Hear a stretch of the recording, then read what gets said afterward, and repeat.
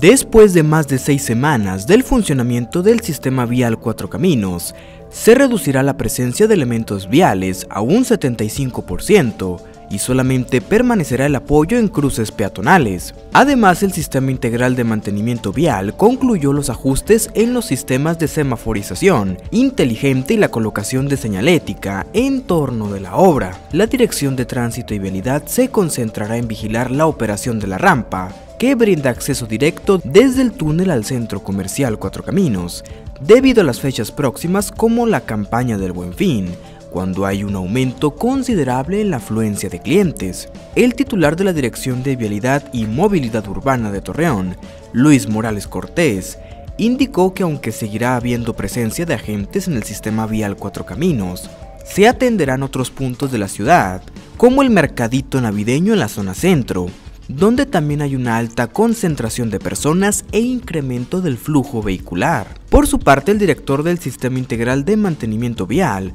Roberto Escalante González, informó que ya concluyeron todos los ajustes en los semáforos del Boulevard Independencia, donde se instalaron cámaras de videodetección de flujo vehicular y sistemas inteligentes para agilizar la circulación indicó que con los cambios que se efectuaron, se han disminuido los tiempos de traslado que se presentaron cuando la obra se abrió a la circulación al 100%, salvo en el cruce de Independencia con la calzada Bastos, donde ya se requiere otro tipo de solución,